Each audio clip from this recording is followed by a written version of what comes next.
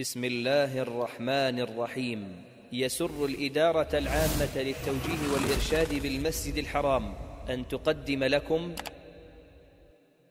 الحمد لله رب العالمين والصلاة والسلام على نبينا محمد وعلى آله وصحبه أجمعين.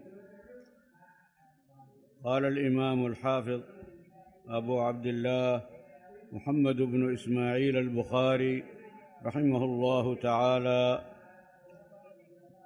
بسم الله الرحمن الرحيم.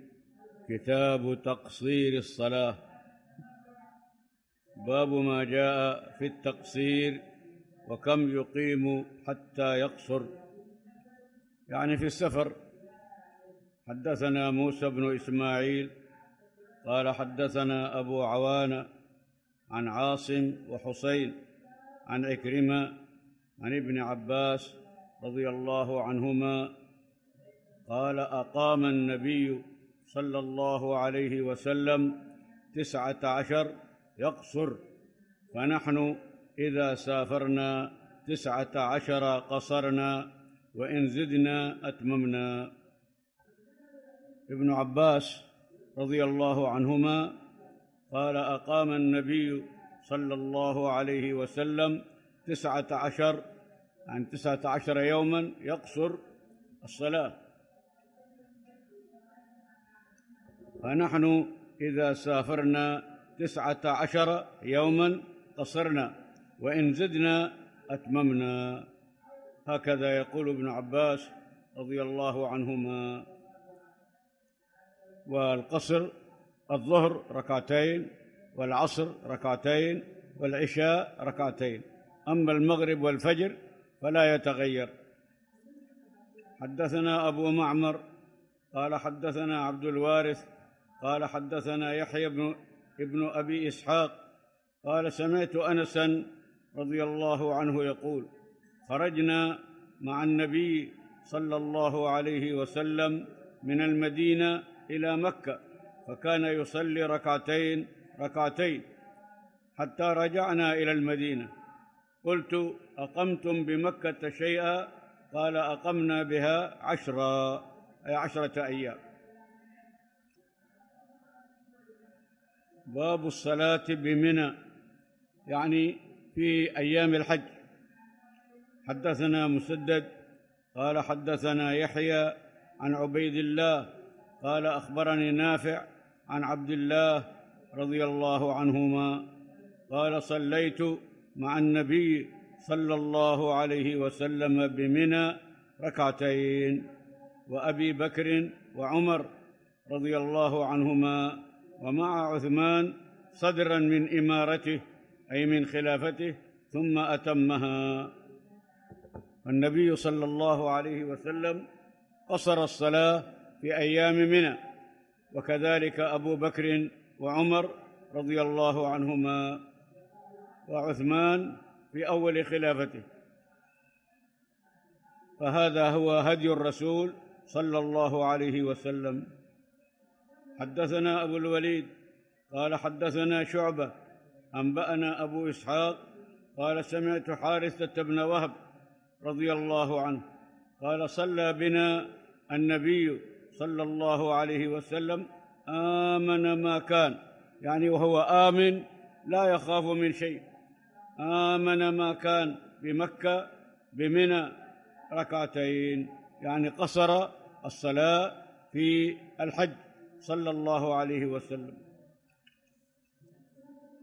حدثنا قتيبة قال حدثنا عبد الواحد عن الأعمش قال حدثنا إبراهيم قال سمعت عبد الرحمن بن يزيد يقول صلى بنا عثمان بن عفان رضي الله عنه بمنى أربع ركعات.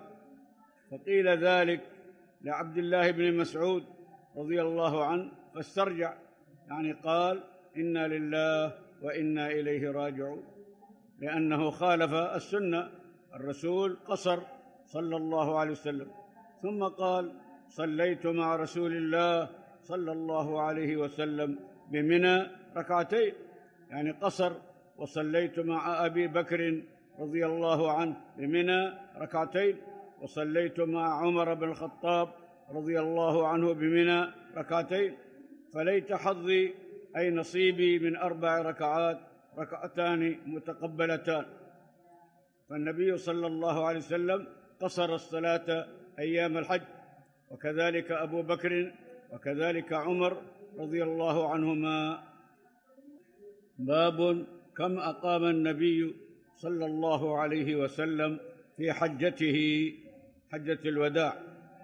حدثنا موسى بن إسماعيل قال حدثنا وهيب قال حدثنا أيوب عن أبي العالية البراء عن ابن عباس رضي الله عنهما. قال قدم النبي صلى الله عليه وسلم وأصحابه لصبح رابعة. يعني وصل مكة يوم أربعة من ذي الحجة. يلبون بالحج فأمرهم أن يجعلوها عمرة إلا من معه الهدي. تابعه عطاء عن جابر رضي الله عنه. فالنبي صلى الله عليه وسلم وصل مكة يوم أربع من ذي الحجة. باب في كم يقصر الصلاة. وسمى النبي صلى الله عليه وسلم يوما وليلة سفرا. يعني مسافة يوم وليلة على الإبل سفر.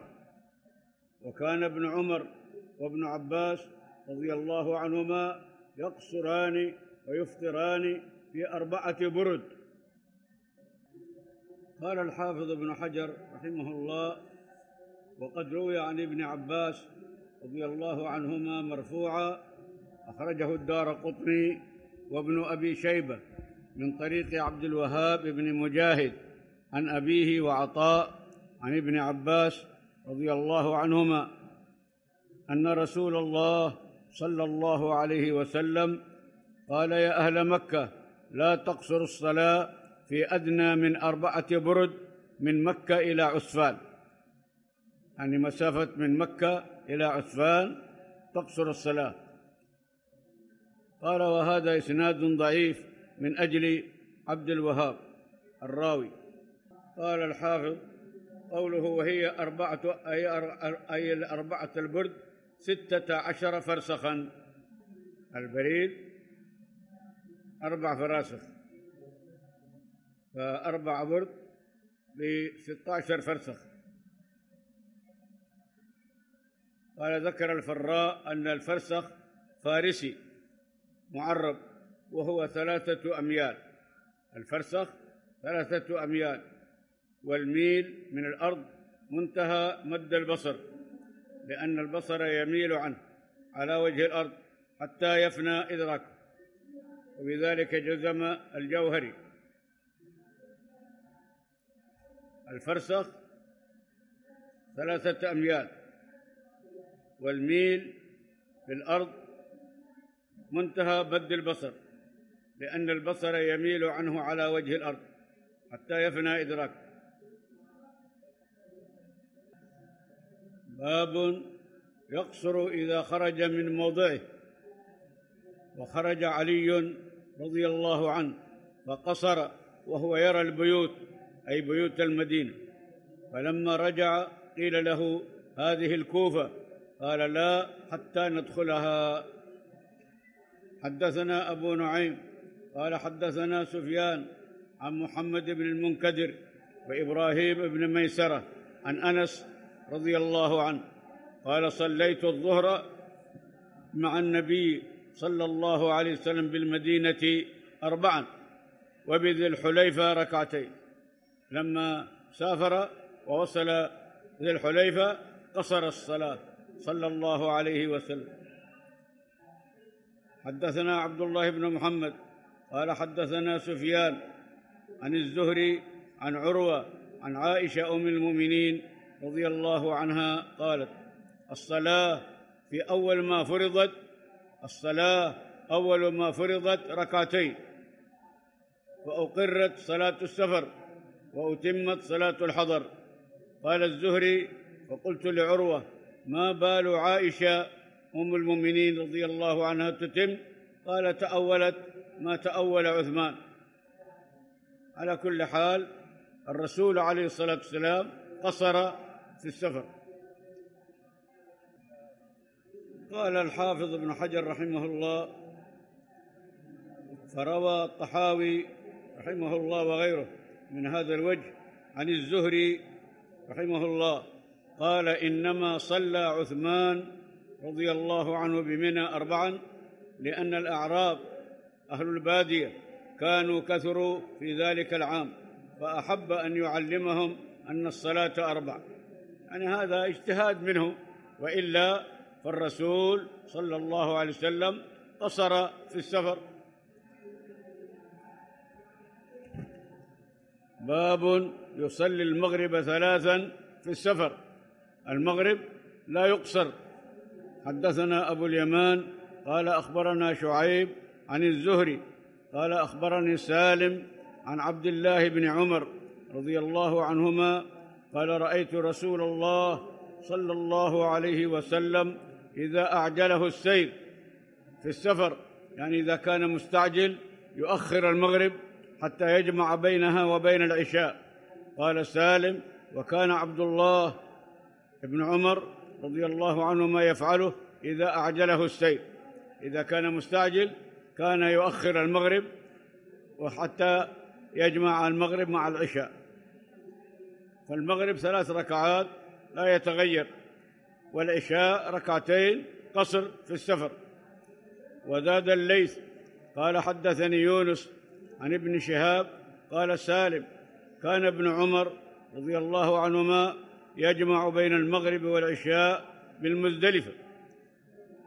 الحاج لا يخرج من عرفة إلا بعد غروب الشمس ولكن لا يصلي المغرب حتى يصل إلى المزدلفة يعني يؤخر المغرب إلى أن يصل إلى المزدلفة فيجمع بين الصلاتين المغرب ثلاث والعشاء ركعتين. قال سالم وأخر ابن عمر رضي الله عنهما المغرب وكان استصرخ على امرأته صفية بنت أبي عبيد. يعني جاءه الخبر بأنها ماتت أو على وشك الموت. فلذلك استعجل وأخر المغرب. فقلت له الصلاة فقال سر. فقلت الصلاة فقال سر حتى سار ميلين أو ثلاثة. ثم نزل فصلى. يعني المغرب ثلاثا ثم العشاء ركعتين. ثم قال هكذا رأيت النبي صلى الله عليه وسلم يصلي إذا أعجله السير أي إذا كان مستعجلا. وقال عبد الله رضي الله عنه رأيت النبي صلى الله عليه وسلم إذا أعجله السير يؤخر المغرب فيصليها ثلاثا ثم يسلم ثم قل ما يلبث حتى يقيم العشاء فيصليها ركعتين ثم يسلم. ولا يسبح أي لا يصلي نافلة بعد العشاء حتى يقوم من جوف الليل رضي الله عنه.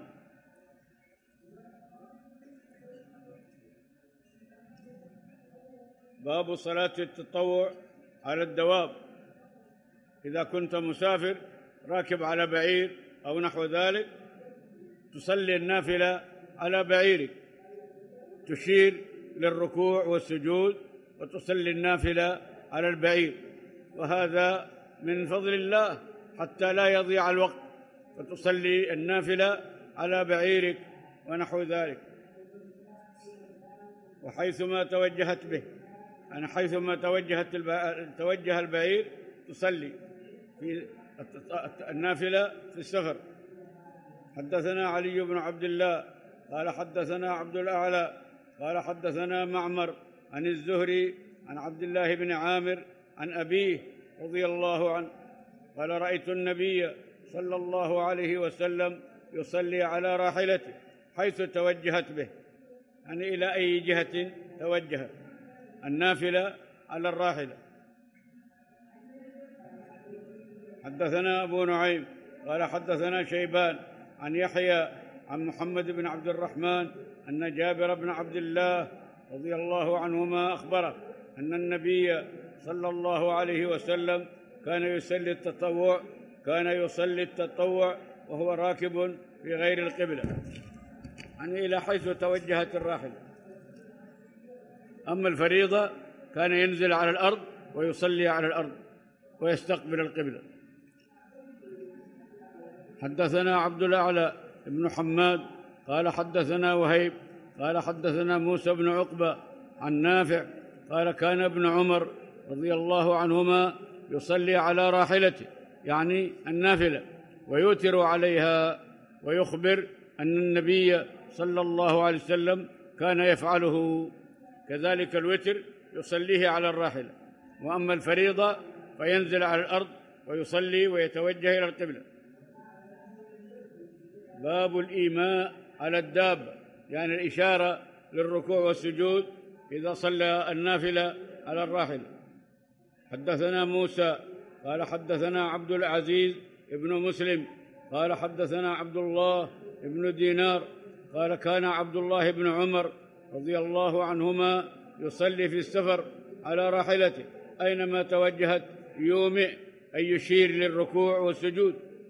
وذكر عبد الله رضي الله عنهما أن النبي صلى الله عليه وسلم كان يفعله.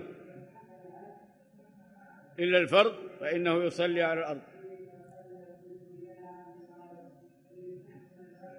باب ينزل للمكتوبة. إذا أراد الفريضة ينزل على الأرض. حدثنا يحيى بن بكير قال حدثنا الليث عن عقيل عن ابن شهاب عن عبد الله بن عامر بن ربيعة أن عامر بن ربيعة رضي الله عنه أخبره. قال رأيت رسول الله صلى الله عليه وسلم وهو على الراحلة يسبح أي يصلي النافلة يومئ برأسه قبل أي وجه توجه. ولم يكن رسول الله صلى الله عليه وسلم يصنع ذلك في الصلاة المكتوبة. عن الفريضة كان ينزل على الأرض ويستقبل القبلة. وقال الليث حدثني يونس عن ابن شهاب قال قال سالم كان عبد الله رضي الله عنهما يصلي على دابته من الليل وهو مسافر ما يبالي حيثما كان وجهه. قال ابن عمر رضي الله عنهما وكان رسول الله صلى الله عليه وسلم يسبح أن يصلي النافلة على الراحلة قبل أي وجه توجه ويوتر عليها غير أنه لا يصلي عليها المكتوبة يعني الفريضة كان ينزل على الأرض يصلي ويتوجه إلى القبلة. حدثنا معاذ بن فضالة قال حدثنا هشام عن يحيى عن محمد بن عبد الرحمن بن ثوبان قال حدثني جابر بن عبد الله رضي الله عنهما أن النبي صلى الله عليه وسلم كان يصلي على راحلته نحو المشرق فإذا أراد أن يصلي المكتوبه نزل فاستقبل القبلة. إذا صلى الفريضة ينزل على الأرض ويتجه إلى الكعبة.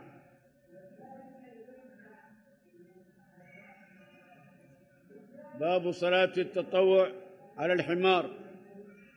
حدثنا أحمد بن سعيد قال حدثنا حبان قال حدثنا همام قال حدثنا أنس بن سيرين قال استقبلنا انسا رضي الله عنه حين قدم من الشام فلقيناه بعين التمر اسم مكان فرأيته يصلي على حمار ووجهه من ذات من ذا الجانب يعني عن يسار القبلة. فقلت رأيتك تصلي لغير القبلة. فقال لولا أني رأيت رسول الله صلى الله عليه وسلم فعله لم أفعله. يعني صلاة النافلة على الدابة يصلي إلى أي وجه مشت الراحلة رواه ابن طهمان عن حجاج عن أنس بن سيرين عن أنس رضي الله عنه عن النبي صلى الله عليه وسلم. باب باب من لم يتطوع في السفر دبر الصلاة وقبلها.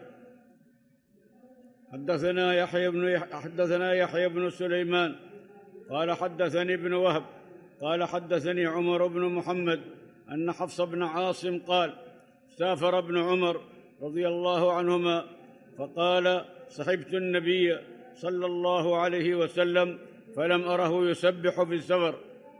وقال الله جل وجل ذكره لقد كان لكم في رسول الله أسوة حسنة.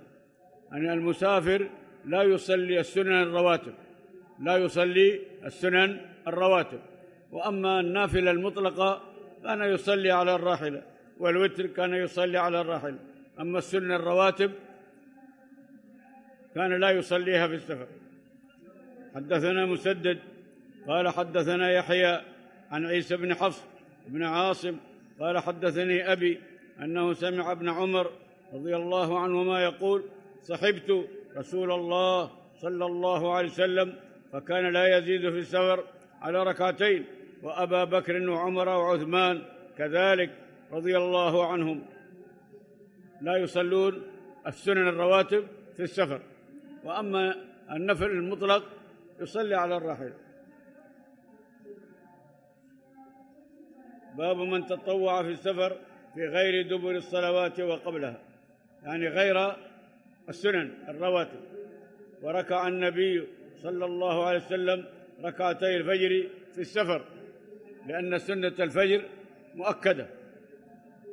حدثنا حفص بن عمر قال حدثنا شعبة عن عمرو عن ابن أبي ليلى قال ما أنبأ ما أنبأ أحد أنه رأى النبي صلى الله عليه وسلم صلى الضحى غير أم هانئ رضي الله عنها.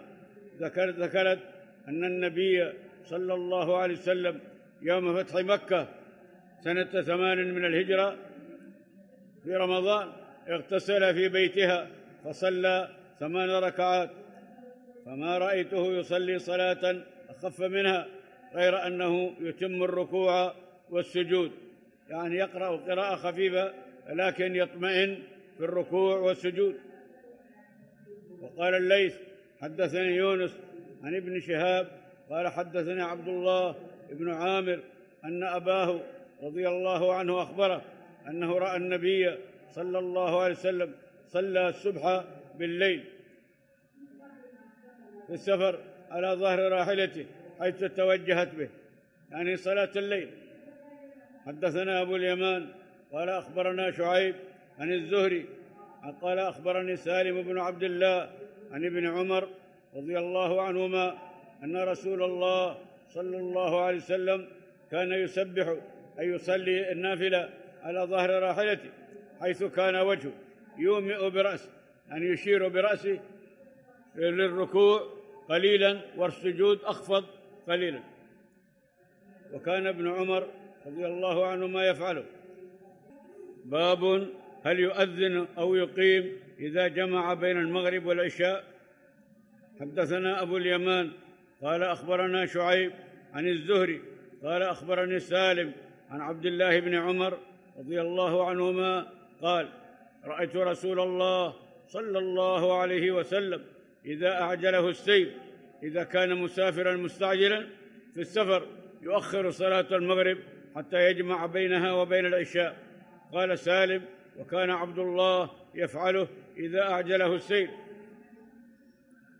ويقيم المغرب فيصليها ثلاثا ثم يسلم ثم قل ما يلبث حتى يقيم العشاء فيصليها ركعتين ثم يسلم.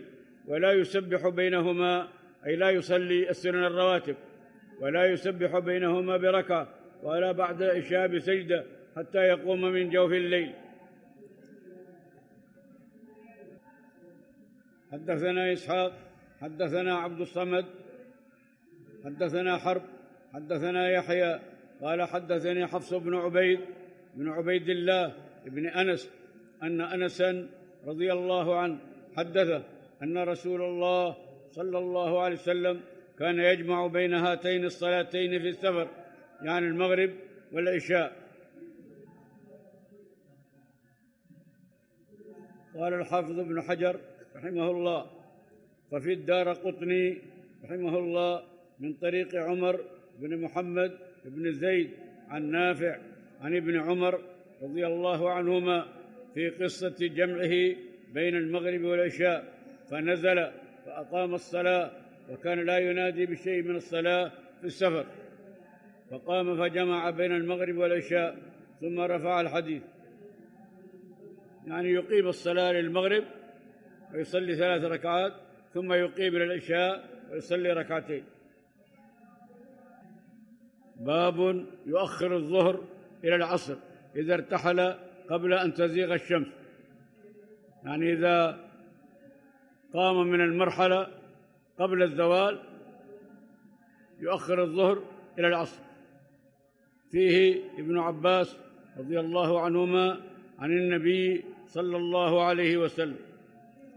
حدثنا حسان الواسطي قال حدثنا المفضل بن فضالة عن عقيل عن ابن شهاب عن أنس بن مالك رضي الله عنه قال كان النبي صلى الله عليه وسلم إذا ارتحل يعني من المكان الذي كان فيه قبل أن تزيغ الشمس قبل الزوال إذا ارتحل من ذلك المكان قبل زوال الشمس أخر الظهر إلى وقت العصر ثم يجمع بينهما وإذا زاغت صلى الظهر ثم ركب. أما إذا زالت الشمس وهو في المكان ثم ارتحل كان يصلي الظهر ثم يركب.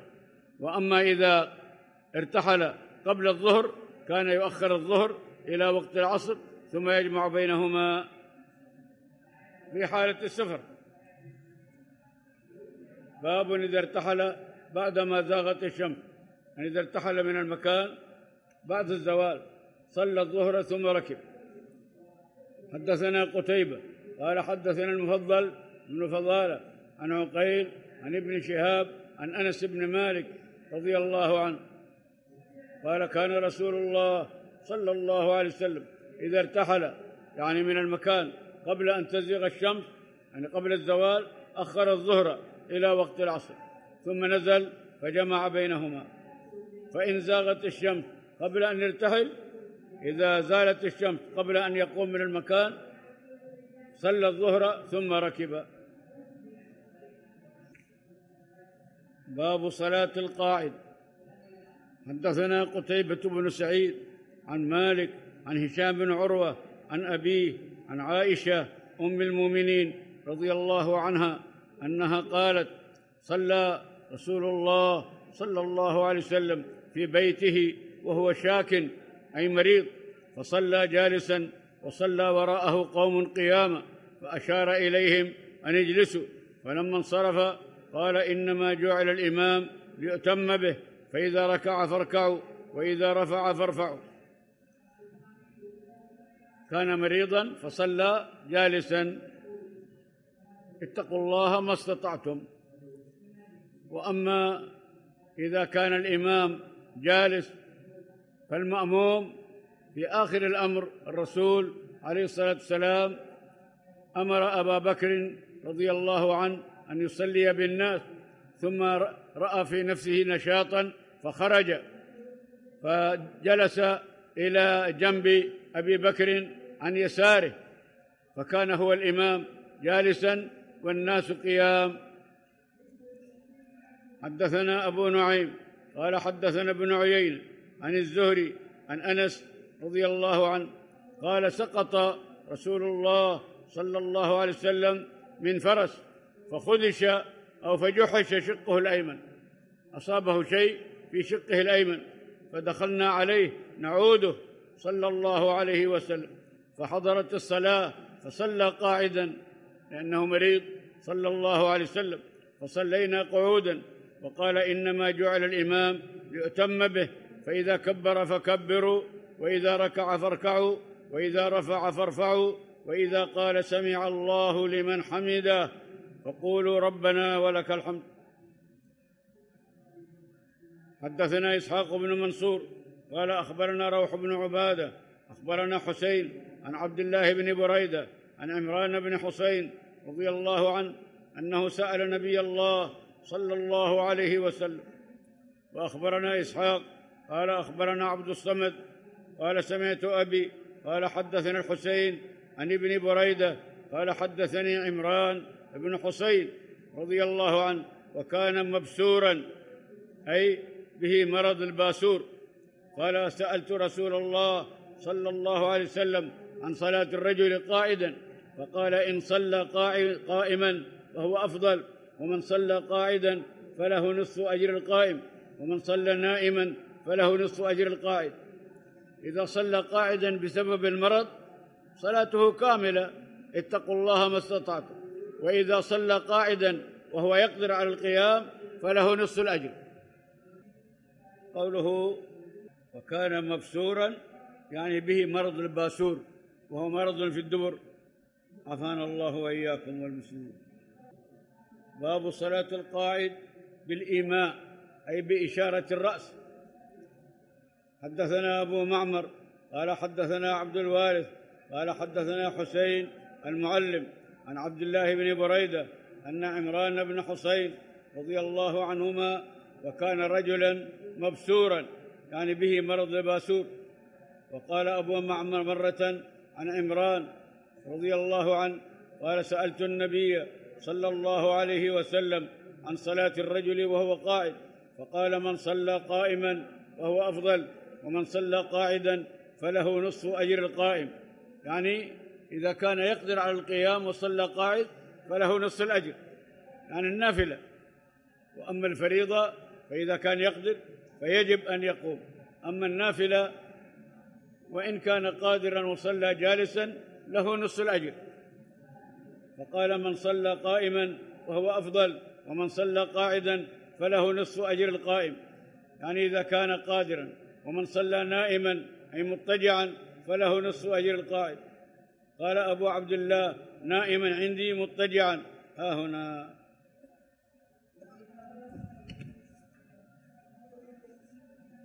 باب إذا لم يطق قاعدا صلى على جنبه. إذا ما قدر يصلي قاعد صلى على جنبه. وقال عطاء رحمه الله إن لم يقدر أن يتحول إلى القبلة صلى حيث كان وجهه. إذا كان مريض وليس عنده من يوجهه إلى القبلة صلى إلى أي جهة كان لأنه مريض ما يقدر يتحول إلى القبلة. حدثنا عبدان عن عبد الله عن إبراهيم بن طهمان قال حدثنا الحسين المكتب عن ابن بريدة عن عمران بن حسين رضي الله عنهما قال كانت بي بواسير مرض في الدبر فسألت النبي صلى الله عليه وسلم عن الصلاة فقال صل قائما فإن لم تستطع فقاعدا فإن لم تستطع فعلى جنب. قال الحافظ ابن حجر رحمه الله قوله فعلى جنب في حديث علي رضي الله عنه عند الدار قطني على جنبه الأيمن مستقبل القبلة بوجهه. يضطجع ووجهه إلى القبلة يضطجع على جنبه الأيمن ويكون وجهه إلى القبلة ويصلي بإشارة الرأس. إذا كان لا يقدر على القعود. باب إذا صلى قاعدا ثم صح أي زال المرض أو وجد خفة تمم ما بقي. وقال الحسن رحمه الله إن شاء المريض صلى ركعتين قائما وركعتين قاعدا يعني على قدر الاستطاعة. حدثنا عبد الله بن يوسف قال أخبرنا مالك عن هشام بن عروة عن أبيه عن عائشة أم المؤمنين رضي الله عنها أم المؤمنين أنها أخبرته أنها لم ترى رسول الله صلى الله عليه وسلم يصلي صلاة الليل قاعدا قط حتى أسن أي كبر سنه فكان يقرأ قاعدا حتى إذا أراد أن يركع قام فقرأ نحو من ثلاثين آية أو أربعين آية ثم ركع في صلاة الليل. صلى الله عليه وسلم. حدثنا عبد الله بن يوسف قال أخبرنا مالك عن عبد الله بن يزيد وأبي النضر مولى عمر بن عبيد الله عن أبي سلمة بن عبد الرحمن عن عائشة أم المؤمنين رضي الله عنها أن رسول الله صلى الله عليه وسلم كان يصلي جالسا فيقرأ وهو جالس فإذا بقي من قراءته نحو من ثلاثين أو أربعين آية قام فقرأها وهو قائم ثم يركع ثم سجد يفعل في الركعة الثانية مثل ذلك. فإذا قضى صلاته نظر فإن كنت يقضى إذا كانت أم المؤمنين عائشة رضي الله عنها يقظة. فإن كنت يقظى تحدث معي. وإن كنت نائما اضطجع صلى الله عليه وسلم. هذا في صلاة الليل. كان يصلي جالسا. فإذا بقي قدر ثلاثين آية قام وقرأ وهو قائم وركع وسجد. صلى الله عليه وسلم. بسم الله الرحمن الرحيم. كتاب التهجد أي قيام الليل. باب التهجد بالليل وقوله عز وجل ومن الليل فتهجد به نافلة لك. حدثنا علي بن عبد الله قال حدثنا سفيان قال حدثنا سليمان بن أبي مسلم عن طاووس سمع ابن عباس رضي الله عنهما قال كان النبي صلى الله عليه وسلم إذا قام من الليل يتهجد اي يصلي قال اللهم لك الحمد أنت قيم السماوات والأرض ومن فيهن ولك الحمد لك ملك السماوات والأرض ومن فيهن ولك الحمد نور السماوات والأرض ولك الحمد أنت الحق ووعدك الحق ولقاؤك حق وقولك حق والجنة حق والنار حق والنبيون حق ومحمد صلى الله عليه وسلم حق والساعة حق. اللهم لك أسلمت وبك آمنت وعليك توكلت وإليك أنبت وبك خاصمت وإليك حكمت فاغفر لي ما قدمت وما أخرت وما أسررت وما أعلنت. أنت المقدم وأنت المؤخر. لا إله إلا أنت أو لا إله غيرك. قال سفيان وزاد عبد الكريم أبو أمية ولا حول ولا قوة إلا بالله. قال سفيان قال سليمان بن أبي مسلم سبعة سمعه من طاووس عن ابن عباس رضي الله عنهما عن النبي صلى الله عليه وسلم. كان النبي إذا قام من الليل يتهجد أثنى على الله. وحمد الله بهذا الثناء جل وعلا. باب فضل قيام الليل. حدثنا عبد الله بن محمد قال حدثنا هشام قال أخبرنا معمر وحدثني محمود قال حدثنا عبد الرزاق قال أخبرنا معمر عن الزهري عن سالم عن أبيه رضي الله عنه قال كان الرجل في حياة النبي صلى الله عليه وسلم. إذا رأى رؤيا يعني في المنام قصها على رسول الله صلى الله عليه وسلم. قال ابن عمر فتمنيت أن أرى رؤيا فأقصها على رسول الله صلى الله عليه وسلم. وكنت غلاما شابا وكنت أنام في المسجد على عهد رسول الله صلى الله عليه وسلم.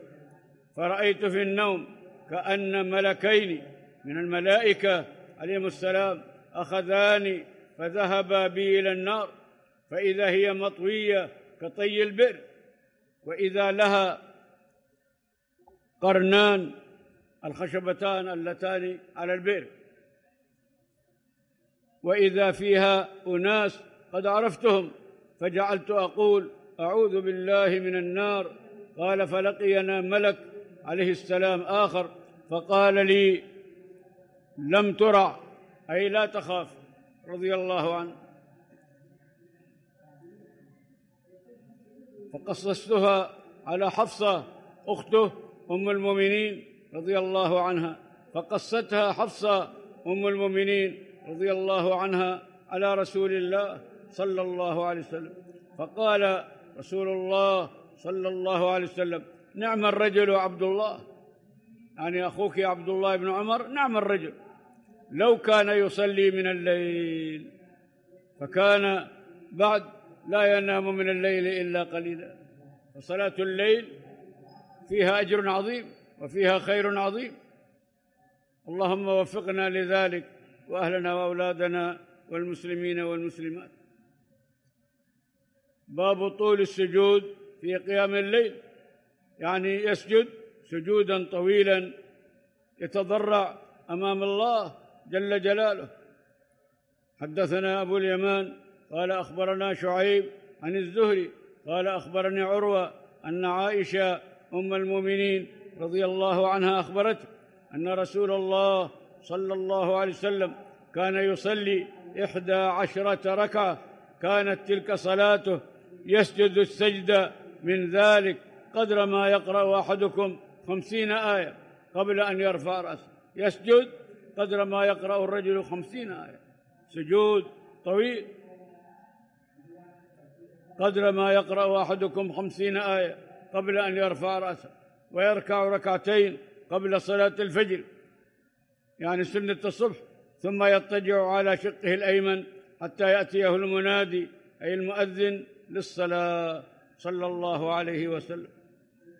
كان يطيل السجود ويذكر الله كثيرا صلى الله عليه وسلم. باب ترك القيام للمريض.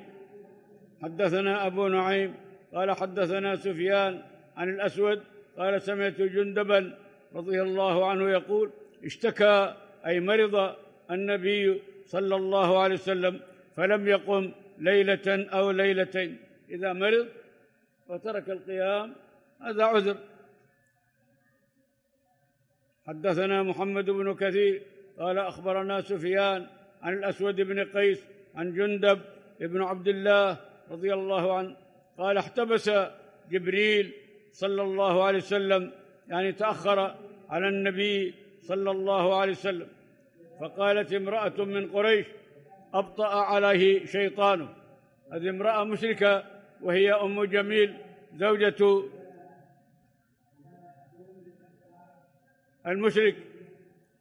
فقالت امرأة من قريش قال المعلق هي أم جميل بنت حرب أخت أبي سفيان امرأة أبي لهب حمالة الحطب. قاتلها الله. تأخر جبريل عليه السلام فقالت هذه المرأة أبطأ عليه شيطانه. نعوذ بالله. فنزلت ردا عليها والضحى والليل إذا سجى ما ودعك ربك وما قلى. أي ما تركك ربك وما أبغضك. رد على ما قالت هذه المشركة. صلى الله عليه وسلم.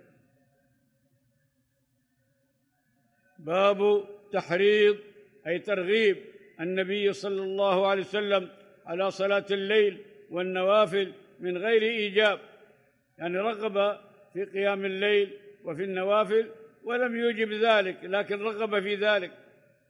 وطرق النبي صلى الله عليه وسلم فاطمة وعليا عليهما السلام ليلة للصلاة.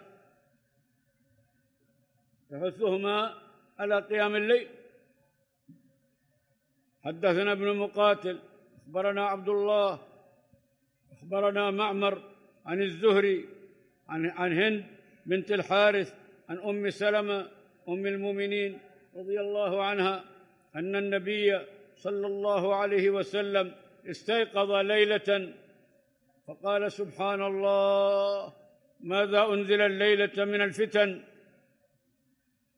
ماذا أنزل من الخزائن؟ من يوقظ صواحب الحجرات؟ أي أمهات المؤمنين؟ يا رب كاسية في الدنيا عارية في الآخرة. كاسية بالنعم في الدنيا عارية في الآخرة. فحث النبي صلى الله عليه وسلم على قيام الليل والأعمال الصالح. اللهم وفقنا لما تحب وترضى وأهلنا وأولادنا والمسلمين والمسلمات. حدثنا أبو اليمان قال أخبرنا شعيب عن الزهري قال أخبرني علي بن حسين أن حسين بن علي أخبره أن علي بن أبي طالب رضي الله عنه أخبره أن رسول الله صلى الله عليه وسلم طرقه أي مر عليهم ليلا. الطروق هو الليل. طرقه أي مر عليهم ليلا وفاطمة بنت بنت النبي صلى الله عليه وسلم يعني طرق عليا وفاطمة رضي الله عنهما. فقال ألا تصليان؟ أن حثهما على قيام الليل. فقلت يقول علي رضي الله عنه فقلت يا رسول الله أنفسنا بيد الله فإذا شاء أن يبعثنا بعثنا. فانصرف النبي صلى الله عليه وسلم حين قلنا ذلك ولم يرجع إلي شيئا أي لم يقل شيئا. ثم سمعته وهو مول أي ذاهب يضرب في فخذه يضرب فخذه. وهو يقول وكان الإنسان أكثر شيء جدلا. فينبغي للمسلم إذا دعي إلى الخير أن يسمع.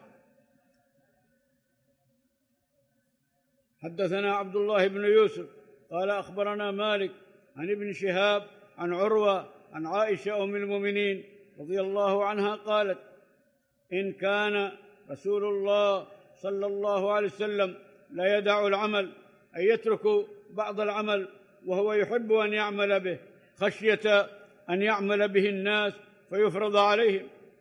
وما سبح أي صلى رسول الله صلى الله عليه وسلم سبحة الضحى أي صلاة الضحى قط وإني لأسبحها. على كل رغب النبي صلى الله عليه وسلم في صلاة الضحى. في حديث أن ابن آدم مركب من ثلاثمائة وستين مفصل فينبغي أن يتصدق عن كل مفصل. فسبحان الله والحمد لله وغير ذلك من الأعمال. شكر لله ويجزي عن ذلك ركعتان يركعهما من الضحى. شكرا لله على هذه المفاصل التي في الجسد لأن هذه المفاصل هي تعيننا على الحركة والقيام والقعود والحمل والتنزيل. فينبغي أن نشكر الله على هذه المفاصل بالأذكار الشرعية. كل تسبيحة صدقة وكل تحميدة تحميدة صدقة وكل تكبيرة صدقة وأمر بالمعروف صدقة ونهي عن المنكر صدقة. ويجزئ من ذلك ركعتان يركعهما من الضحى. حدثنا عبد الله بن يوسف قال أخبرنا مالك عن ابن شهاب عن عروة بن الزبير عن عائشة أم المؤمنين رضي الله عنها أن رسول الله صلى الله عليه وسلم صلى ذات ليلة في المسجد فصلى بصلاته ناس يعني قيام الليل ثم صلى من القابلة فكثر الناس ثم اجتمعوا من الليلة الثالثة أو الرابعة فلم يخرج إليهم. رسول الله صلى الله عليه وسلم. فلما أصبح قال قد رأيت الذي صنعتم إن اجتمعتم ولم يمنعني من الخروج إليكم إلا أني خشيت أن تفرض عليكم وذلك في رمضان. يعني خاف أن يفرض عليهم فيشق عليهم رحمة منه صلى الله عليه وسلم. اللهم بلغنا رمضان بالعفو والعافية والصحة والقبول والإعانة وأهلنا وأولادنا والمسلمين والمسلمات. باب قيام النبي صلى الله عليه وسلم حتى ترم قدماه أي تنتفخ قدماه من طول القيام صلى الله عليه وسلم. وقالت عائشة أم المؤمنين رضي الله عنها حتى تفطر قدماه أي تشقق من طول القيام والفطور الشقوق. انفطرت انشقت. حدثنا أبو نعيم قال حدثنا مسعر عن زياد قال سمعت المغيرة رضي الله عنه يقول إن كان النبي صلى الله عليه وسلم ليقوم ليصلي حتى ترم قدماه أتنتفق أو ساقاه؟ فيقال له فيقول أفلا أكون عبدا شكورا؟ الله أكبر. فشكر النعمة بالطاعة والعبادة. اللهم وفقنا لشكرك يا رب العالمين وأهلنا وأولادنا والمسلمين والمسلمات. باب من نام عند السحر أي آخر الليل. حدثنا علي بن عبد الله قال حدثنا سفيان قال حدثنا عمرو بن دينار أن عمرو بن أوس أخبره أن عبد الله بن عمرو بن العاص رضي الله عنهما أخبره أن رسول الله صلى الله عليه وسلم قال له